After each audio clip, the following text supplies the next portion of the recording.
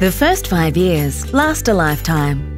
In fact, children are born ready to learn. Up to 90% of a child's brain development happens in the first five years. So it's never too early to talk, read, and tell stories to children.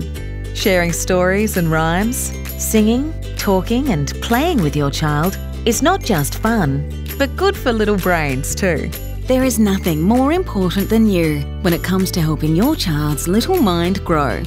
So we want to encourage you to take a moment to talk, read, sing, and play with your child every day. Why don't you join us at one of our upcoming early literacy programs?